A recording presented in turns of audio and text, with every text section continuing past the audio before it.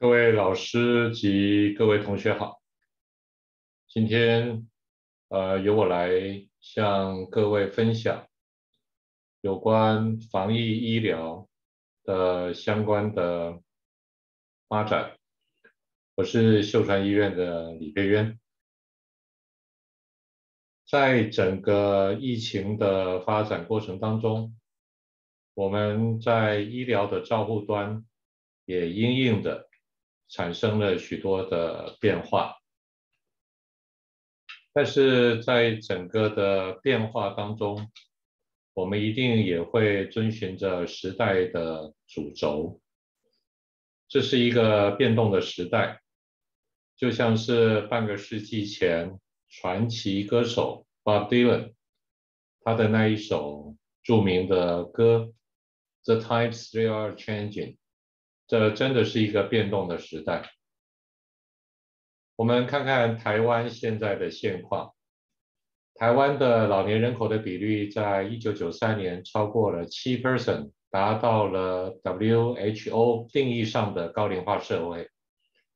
在经过了二十五年之后的二零一八年，我们六十五岁以上的老人人口达到了十四 percent，台湾正式进入高龄社会。但是在仅仅的几年后的二零二五年，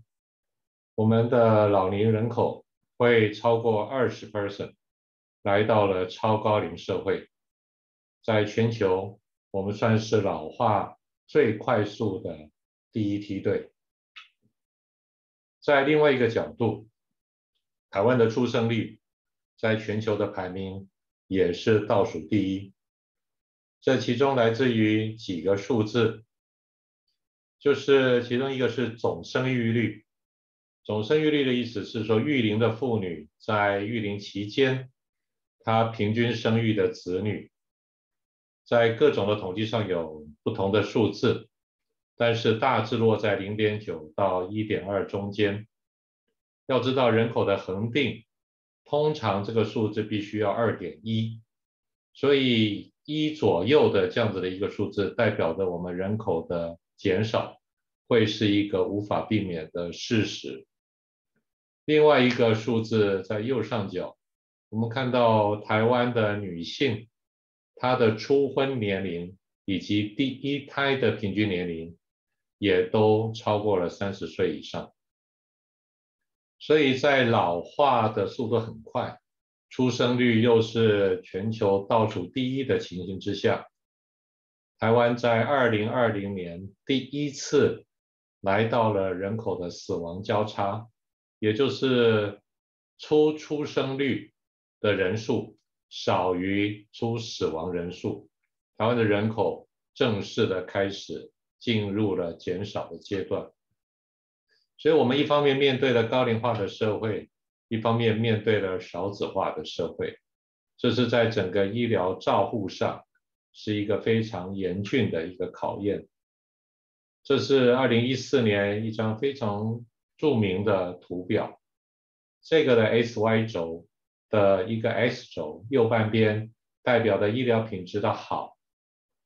左边代表的不好，y 轴的上边代表的医疗的便宜。下方代表的医疗的昂贵，我们看到全球的国家大致上，不管你的品质好或是不好，基本上医疗都是昂贵的。唯独悬在右上方的一个名字——台湾，它代表着我们的医疗品质又好又便宜，这是大家必须要能够珍惜的。所以这是一个变化最快，但是也代表的是最有机会的一个时代。整个的医疗领域在转型当中，二十一世纪的医疗照护，它可以分成几个面向。大家在媒体上、在平台上面可以看到的几个名词：精准医疗、再生医学、全人医疗，以及联系的这些关。医疗领域的医联网，有关于全人医疗的部分，我们在世界卫生组织对于健康的定义是什么呢？是在生理的、心理的以及社会的安宁福祉的状态 （well-being）。也因此，我们现在在着重的以病人为中心的照顾来讲，我们希望在医院里面不只是你能够无痛，然后你们能够感到不感到恐惧，而且你感到没有压力。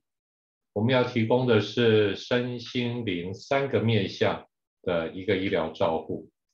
从另外一个轴线来讲，我们这一辈子会从在像各位现在的一个健康的青少年的一个阶段，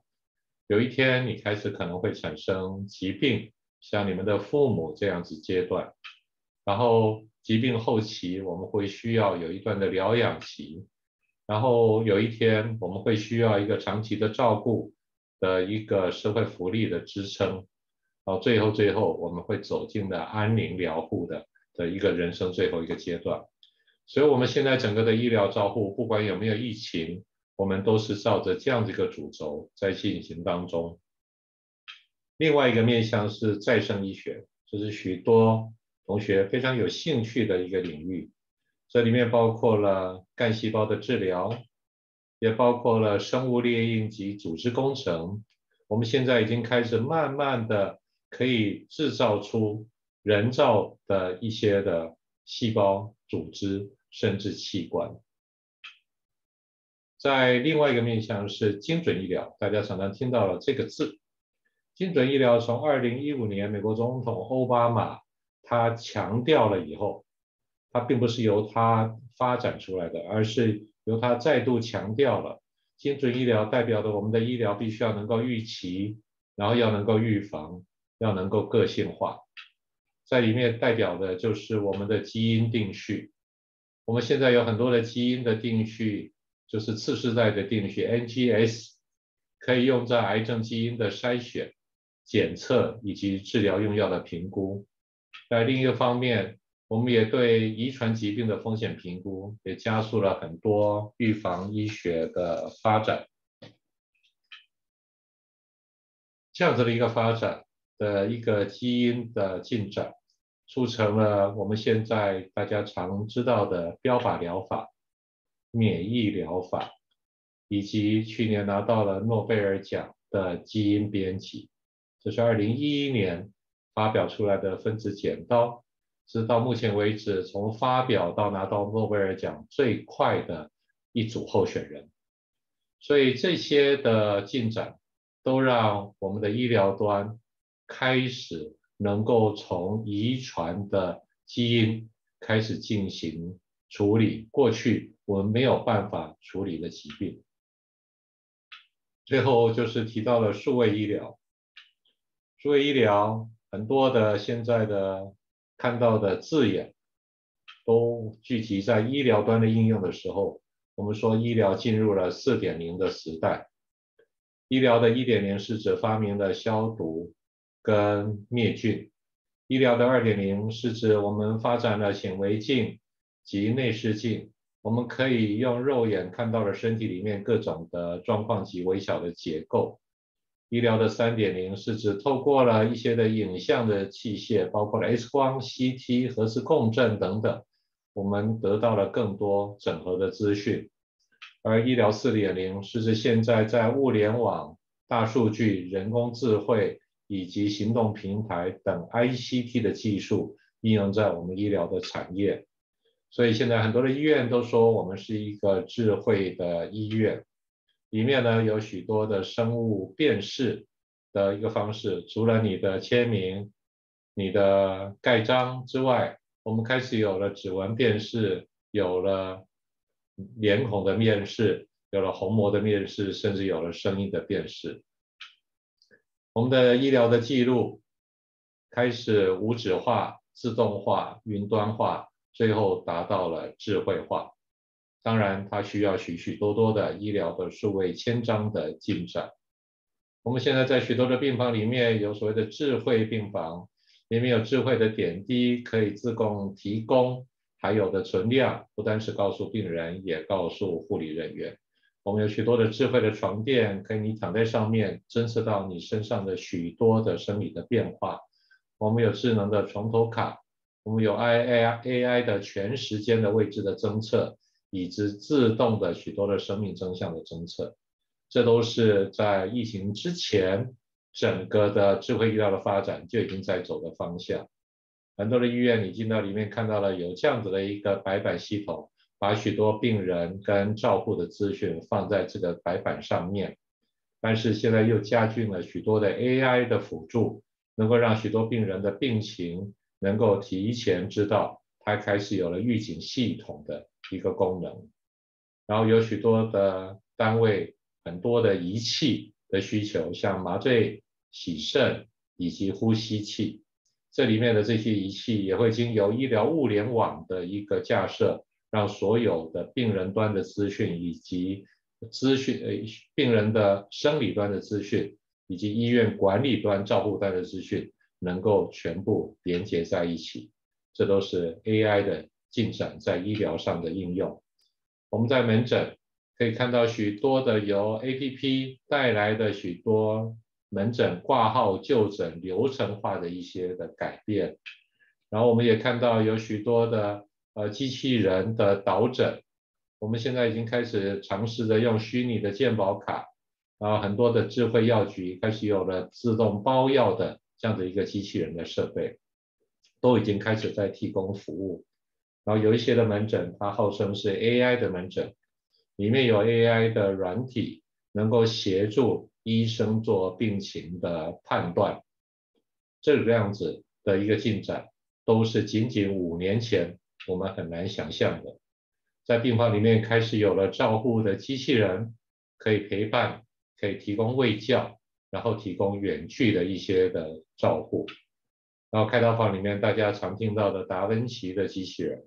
但是现在其实在开刀房里面有更多更多各式各样。有很大的型的人形的机器人，也有很小的微型的机器人在开刀房里面，所以这样的一个进展，把所有的医疗照护串在一起的时候，就是我们讲的医联网。整个的故事从二零二零年的一月二十三号武汉封城开始，有了那么一些的变化。疫情的开展，我们本来期待会跟 SARS 一样。经过了大半年之后会消失，在二零二零的九月二十八号，我们有了第一百万个不幸的患者上升。然后事情还没有结束，在一年之后，武汉封城的一年之后，我们有了一亿个地球的居民染疫，有超过两百万个死亡。这样子的一个状况还是持续，一直到八月。我们已经有两亿个确诊，然后死亡人数已经到今天为止已经逼近了五百万。这整个事情看来并没有尽头，我们不能期待它会自己过去，我们必须要做些什么事情。所以这样子的一个世纪大疫，它就是一个 game changer，它改变了许多事情，但是它更加速了。我前面讲的许多本来在历史的一个演进的轨迹上在进行的事情，在这个地方，我们还是非常的幸运。我们身处在台湾，这个曲线图是指在疫情的每个国家的疫情，它扣到控制的这样一个速度。我们看到大部分的一个曲线都是缓步向上。但是，如同刚才我们看到的那一个 S Y 轴的平面图，这里又有一个名字高悬在另外一个角落——台湾。我们用了全球最快的一个速度，把整个疫情给控制下来。我们真的非常非常的厉害。然后，另外一个信息，我们也看到，在这个图是指在新冠肺炎的期间。对经济的影响，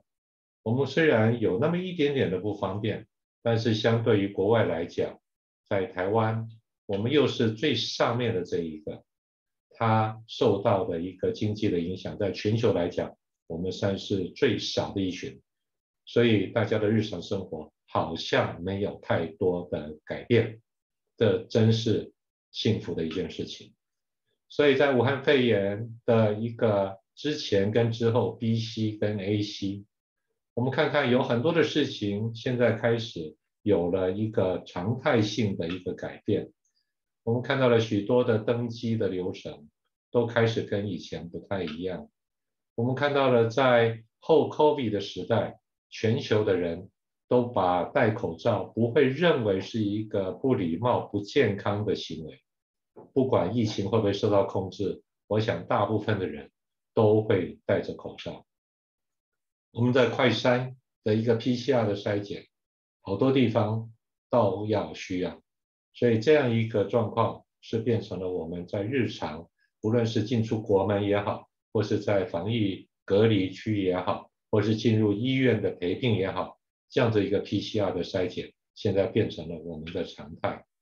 我们也看到了，在这段时间，健保卡的功能发挥到了极致。这样子，这一张的健保卡在全球来讲是最有威力的一张卡片，是这是一个真的，里面有包含了太多太多的一个健康的资讯及疾病管制的一些的资讯。所以这段时间我们可以不带身份证，但是我们健保卡一定都会带在身上。我们看到了，进入每一个公共场所，我们要实名制，我们要洗手，我们要量额温，然后我们常常会需要隔板，这是我们的日常。我们看到很多的居民老先生们在讨论 A Z 还是打 B N T，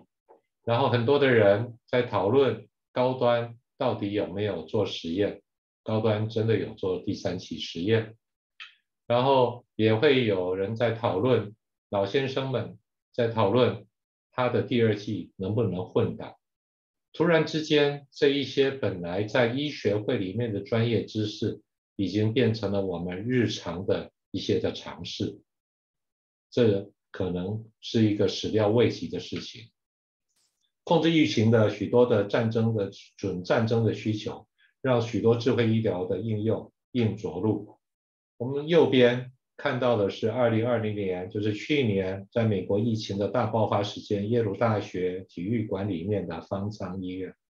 左边是上一次的世界大百年大疫——西班牙流感，在一九一八年的时候，在爱荷华大学的体育馆里面的方舱。相隔百年的方舱医院，两个百年大疫，看起来有什么不一样吗？SARS 爆发的二零零三年是 PC 成熟的时代，而新冠肺炎的二零二零年是四 G 成熟的行动时代，这里面一定有许多的不一样。所以，我们现在把这样子的一个定想法讲成一个科技防疫的智慧医疗，里面包括了非接触性的照护，包括了 AI 的医疗资讯、智能的后勤管理，以及远距的医疗含教育训练。这里面全部串在一起，就是我们讲的物联网。在病房里面开始有更多的非接触性的照护，我们有很多的穿戴装置可以提供体温侦测、肺音侦测、人脸辨识，然后开始出现了许多的照护机器人，这样子的一个助理的医护的机器人，提供了一些非接触性的照护，然后在隔离区里面。也有这样子的一个机器人可以提供送餐以及送药，然后在开刀房里面，在切道上也有这样子的一个清洁消毒的一个机器人在开始运用，甚至在疫情爆发的许多国家，在街道上也有这样子的一个测温的量体温的巡查的机器人在街道上巡逻。另外一个就是无人机的应用。可以用无人机来作为消毒，来做疫情的宣达，来运送医疗的物资，甚至它用来监视。那无人机也可以用在高在上空来做大规模群众的体温的侦测。这些的应用都已经在过去这一年多，在全世界许多的国家已经使用过。然后我们在许多地方在网络上可以到 John Hopkins 大学。在疫情爆发之初，就设立了这样子的一个全球的即时的战情的仪表板，你可以上去查到全球或是你所在的地区国家现在染疫的状况。所以这样子的一个疫情追踪的管理系统，让许多的国家以及疫情的控的管理单位，能够的有效的掌握全球以及你所在区域的一些的发展，然后更多的一些的数据的分析的预警跟可视化的平台被发展出来，所以这样子的一个。大数据的分析及预警的平台，它不单只是提供数字及分析，它最大的意义，它要能够提供预测以及提供可能的解决方案。像 AI 的医疗也在这段时间发挥到了它很大的功能，它可以经由我们的 X 光片或者是影像的检查，来判断有关于新冠肺炎是不是得到确诊，呃。得到怀疑是不是新冠肺炎这样子的一个 AI 的诊断的协助，都已经在许多的地方开始进入了第一线的的协场域来使用。当然，包括各位在疫情爆发期间，大家已经开始习惯在家里面进行远距的上课。然后在医疗端，我们也用了非常多的方式来维持一定的远距的教育训练。然后更进一步，我们有希望能够用很多的 VR、AR 的 MR 来提供，除了教育训练之外，也在提供是不是有更多的应用的可能性在实际的医疗面。像现在我们可以用到 5G 加 VR 的探视系统，来在高危险区或是隔离区的病人。让他跟外界的家属也好，或者是医护人员来好，能够进行的沟通。然后当然最简单的方式就是你用 Pad 来进行这样子的一个探病，能够减少人与人，特别是与病人之间的一些的接触。所以在这段时间也发展非常多的一些的感测器，像这是一个以色列的一个被动的感测器，就是像一个平板一样。你只要放在床垫上下，或者是枕头下，还可以侦测到许多你的生理的资讯，然后上传到远方的医疗机构。然后也有被动式的，你在家里面有一个盒子，里面有非常多的一些的装置，你可以自己呃能够贴在胸口上，或者是贴在某个位置，能够让远方的医师能够知道听到你的呼吸声。能够看到你的耳朵，看到你的喉咙，或是检查到你的皮肤的一些的病灶，这都是提供了远距医疗可能性的一个实际上的一些的进展。台湾在这个部分并没有也没有缺席，像这个是全球最小的一个体温计的贴片，可以贴在身上，然后让远方的真的一个单位可以知道我们大家的一些的体温的变化。在一个五十元大小的一个感测器上面，可以找可以找到可以侦测到我们十四种，我们包括了身体的动作的资讯。这这样子的一个需求，都是经由疫情之下所加速发展出来的。不光只是在医疗院所提供了非接触性的照顾，也提供了接下来就算疫后的一个稳稳定时间，也有很多的远距医疗上的一些的需求。在台湾，从台东县的卫生所的照护网，在一年多前开始全面的换装，能够运行远距的照护，也照顾了非常我们后山许多偏乡本来医疗资源缺乏的，现在可以经由西半边的许多的大型的医学中心提供了专科等级的一些的门诊的服务。那同样的，像在云林县。啊，也开始进行了远距医疗的区域联防医计划，能够让社区基层诊所以及大型的医院，能够对整个的社区能够提供最完善、最完备的，我刚才只讲的，呃，最前面讲的这一个全人的医疗照顾的一个我们的目标。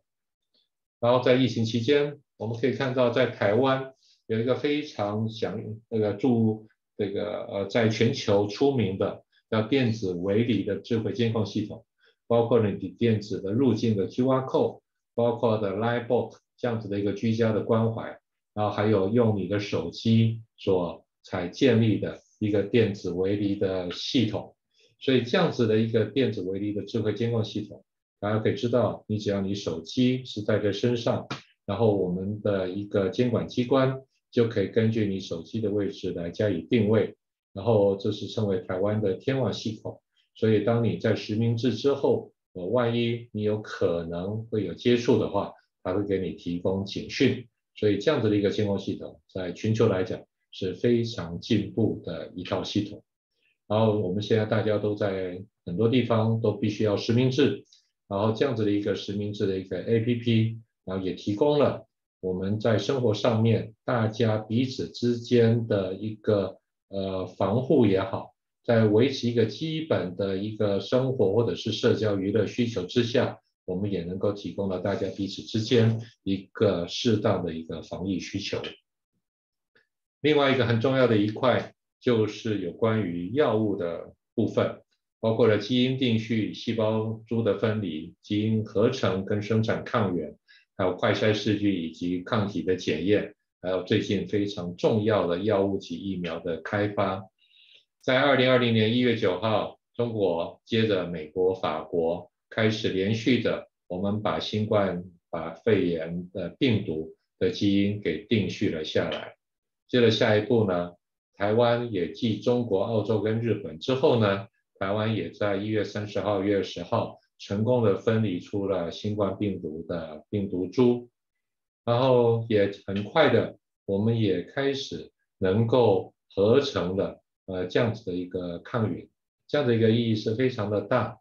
因为有一个生产的抗原之后，我们接下来包括了试剂，包括了药物，包括了疫苗。我们才可能有进一步的一些的发展，这是一个基础。然后在这段时间，全球也发展出非常多的快筛的试剂或者是抗体的检验，大家所熟知的 PCR，然后也有一些人会做抗体的筛检。那最近在新闻上大家也常常的看到。然后另外有一些的抗原的快筛，这是一个三个我们在医疗端常用的。另外现在大家在呃便利商店。也可以买到了居家使用的快筛的试剂，这都是这段时间发展出来的。另外，有疫情期间，如果不幸的染病，一定得依赖抗病毒药物。这抗病毒药物最出名的就是瑞德西韦啊，吉利的公司的瑞德西韦。然后后来开始有很多的抗体的药啊，也在逐步的发展当中。但是最近，因为的疫苗的一个呃看来相当成功的发展啊，所以现在对于药物的需求看来不像在疫情爆发的期间那么那么的重要。当然这些归功于疫苗的研发。所以疫苗的研发过去的历史十年内开发成功的不过是这四种：狂犬病、德国麻疹、百日咳及麻疹。这是十年内开发成功，你可以看到四年、七年、八年、九年。但是呢，这一次我们的 mRNA 的疫苗仅仅在短短的两三个月内便发展出来，